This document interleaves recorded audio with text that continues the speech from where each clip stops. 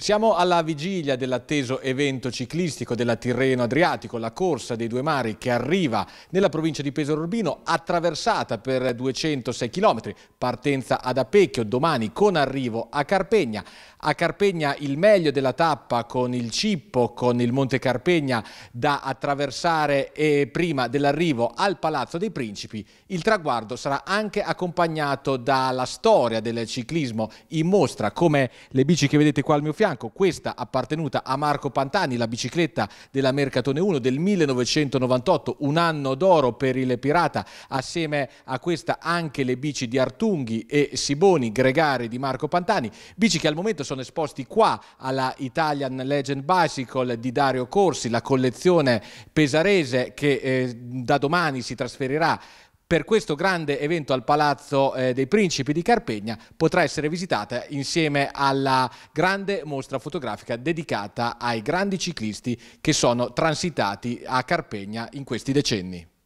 Carpegna, il comune di Carpegna ha voluto ricordare insieme al comune di Pesaro, Pantani soprattutto, e abbiamo voluto portare tre biciclette dalla Mercatone 1 del 1998, tra cui proprio la bicicletta originale di Marco Pantani. In quell'anno, ci ricordiamo tutti, vinse il Giro e il Tour.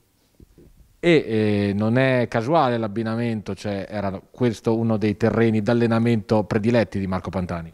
Certo, Marco si allenava su queste, sulle nostre montagne dell'entroterra e diceva sempre che bastavano per vincere il Giro e il Tour, quindi penso che siano abbastanza dure alle sue spalle il pannello eh, di presentazione di questo evento a Carpegna ci ricorda anche che Pesaro è candidata finalista a Capitale della Cultura, la bicicletta rientra appieno in questo discorso culturale. Certo, non potevamo perdere questo evento, la Tirreno Adriatico a Carpegna, come anche evento culturale. Ci saranno tanti tifosi sulla montagna a vedere i, i corridori che scaleranno due volte il Cippo, Pesaro cerca in questo mese di diventare vincitrice della capitale della cultura 2024 e la bicicletta a Pesaro, città della bici, non poteva mancare. Devo dire che la Tirreno Adriatico quest'anno ha veramente un'importanza eh, molto elevata, soprattutto per il nostro territorio, una grandissima occasione per promuovere Pesaro ma tutta, tutte le marche. Io devo dire che voglio ringraziare anche Dario Corsi che è una persona stupenda che nel corso di, di una vita è riuscito a raccogliere tantissime biciclette,